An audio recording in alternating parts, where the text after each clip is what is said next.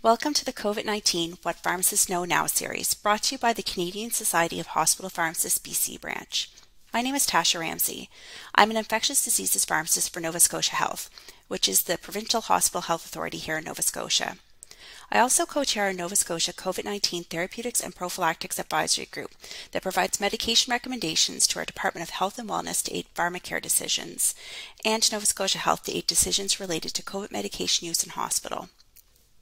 I'm also an assistant professor with the College of Pharmacy at Dalhousie University. In this session, colchicine, gout reliever by day, COVID 19 treatment by night, we will explore the use of colchicine and COVID 19. In terms of disclosure, I have no conflicts of interest or financial or personal relationships to declare. One important disclaimer is that, as we all know at this point, COVID 19 evidence is very rapidly evolving and the information in the presentation today is based on the best available evidence available on February 19, 2021. Also, the views in this presentation are my own and do not reflect those of the BC branch of CSHP. By the end of this presentation, it's my hope that you will be able to broadly describe the proposed mechanism for colchicine and COVID-19, be familiar with the evidence for colchicine and the treatment of COVID-19, and be able to discuss the results of the COL-Corona study. I'm sure that we're all familiar with colchicine. This commonly used gout agent is used to relieve pain in acute gout flares and used for prophylaxis of recurrent gout flares. The approved Health Canada indications and off-label indications are listed here. One off-label indication is the prevention of primary and secondary pericarditis, and you may also discuss this in hospital too. It's important to note, unlike some of the other COVID-19 agents like remdesivir or bamlanivimab, Health Canada has not authorized colchicine for treatment of COVID-19, either as an interim order or as an approval with conditions. When it comes to the mechanism of COVID-19 therapeutics, it's important to reflect on where they act in the disease course. This figure shows disease progression towards the bottom of the image in gray bars going from left to right. Starting on the left, day zero corresponds to viral entry. The next bar, day 1 to 2, represents viral replication in the airway cells, and this is when antivirals will have the most benefit. You can then see day 3 to 7, activation of your inflammatory response, and agents that target your immune system, such as dexamethasone, either broadly or through specific targets, are proposed to work here best. Next up is day 7 to 14, which corresponds to week 2 of illness and is when those that go on to have very severe disease usually fall the most ill. And this is as a result of dysregulated inflammatory response or ARDS. Once again, immunomodulatory agents may have a role here too. However, it's felt that if you use them earlier on, they'll likely have more benefit before things get out of control. So broadly, you can see that COVID-19 therapeutics fall into one of two categories, antiviral or immunomodulatory, that will either work very early or later on in the disease course. So where does colchicine fall? Is it an antiviral or is it an immunomodulatory agent? It's thought to act mainly as an immunomodulatory agent. The exact mechanism is complex, it reduces systemic inflammation by blocking cytokine release and other inflammatory markers shown in this figure. This is going to include tumor necrosis factor reduction, disruption of superoxide production, and inflammasome inhibition. So, what does the literature search for colchicine and COVID-19 reveal? Initially, there were case series and reports published outlining the proposed mechanism and use in a few patients. If you go to clinicaltrials.gov, there are also numerous ongoing and completed trials not yet published assessing various COVID 19 populations, including outpatients and inpatients. There's one phase 1 study that had 35 patients based out of Brazil by Lopes et al., and it's in preprint. And there are two phase 2 studies reporting results the GRECCO 19 study, which has been published, and one that's based out of Iran that's available as a preprint. The first of the phase two studies is GRECCO 19. This stands for the Greek Study in the Effects of Colchicine and COVID 19 Complications Prevention Study. It's a phase two open label prospective RCT that explored the use of colchicine versus standard medical treatment in hospitalized patients with COVID 19, and they used up to three weeks of colchicine. The primary clinical outcome was deterioration defined by two points on the World Health Organization seven grade clinical status scale, ranging from being able to resume normal activities all the way up to death. Secondary outcomes included cumulative event free 10 day survival and side effects including diarrhea. GRECCO 19 found the rate of clinical deterioration to be higher in the control group than in the colchicine group. The cumulative event free 10 day survival was 97% in the colchicine group and 83% in the control group. Adverse events were similar in the two groups, except for diarrhea, which was much more frequent in the colchicine group than the control group. So as you can see here, 45.5% in the colchicine group experienced diarrhea versus 18% in the control group.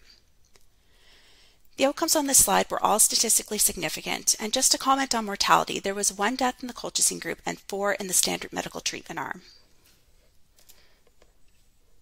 The next phase 2 RCT that has released data as a preprint was completed in Iran. It was a prospective, open label, double blind RCT in 100 hospitalized patients with COVID 19. They looked at colchicine at a dose of 1 milligram daily for six days. And this was used in addition to standard medical therapy, which they defined to be at the time hydroxychloroquine. And they then compared this combination to standard medical therapy, which also, of course, included hydroxychloroquine. So, what you're really kind of looking at in the end is colchicine plus hydroxychloroquine versus hydroxychloroquine. The primary outcome was length of hospitalization, and secondary outcomes included COVID symptoms, one of them being dyspnea. So they found a statistically significant reduction in length of hospitalization, with hospitalization being about one and a half days less in the colchicine group. There was no difference in dyspnea, and no one died during the study.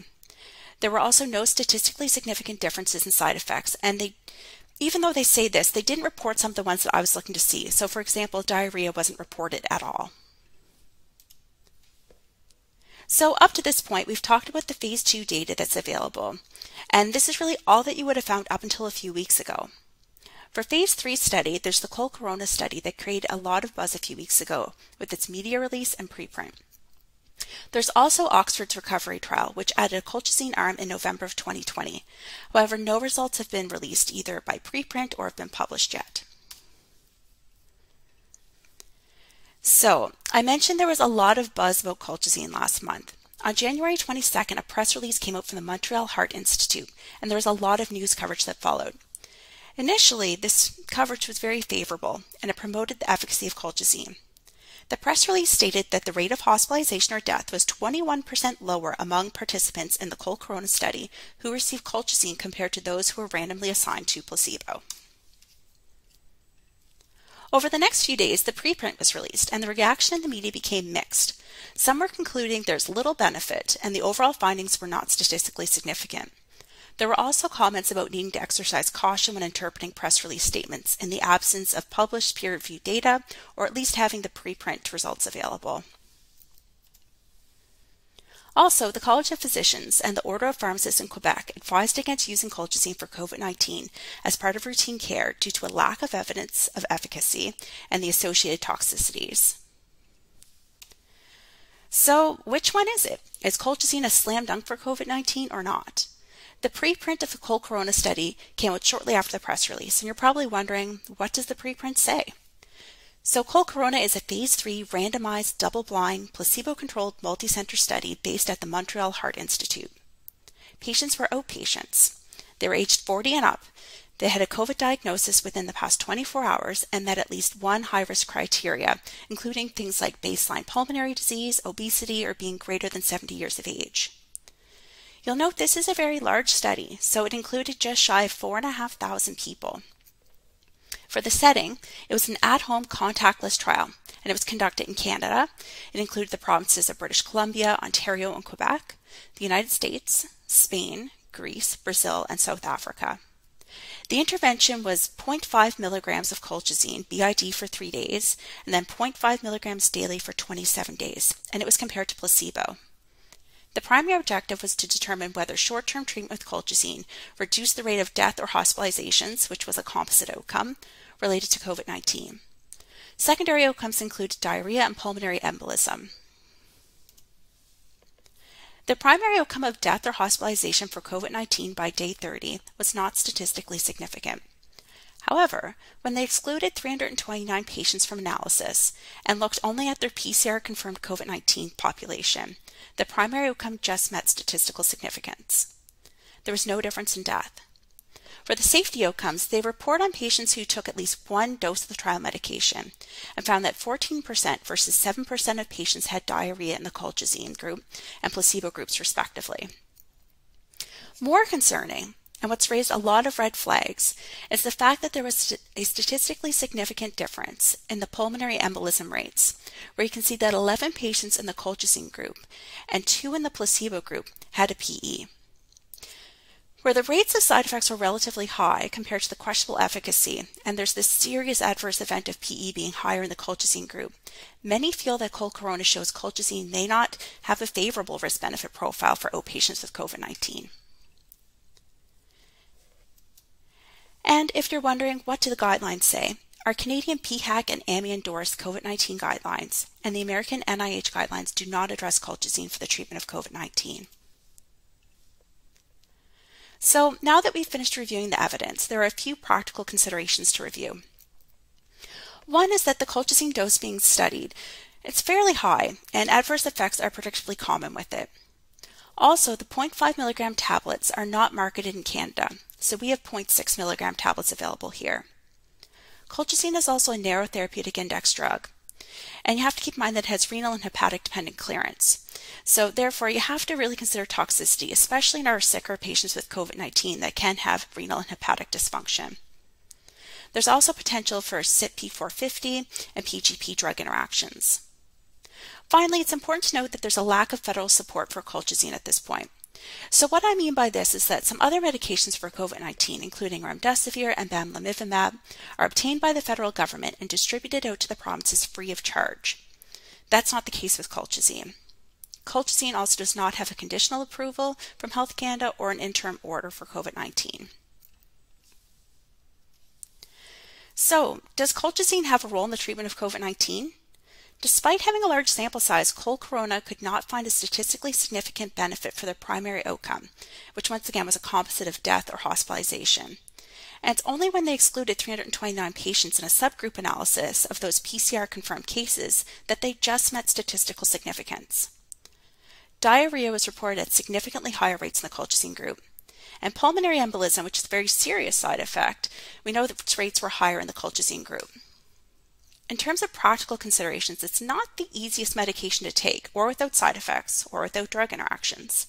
Also, the 0.5 milligram formulation is not available in Canada, and we've already discussed the lack of federal support. And so, in conclusion, I think the role of colchicine in the treatment of COVID 19 is currently unclear. Many feel we should wait until we have more information to see if there is a population with a better risk benefit profile. Thank you so much for watching the session. Stay safe, everyone.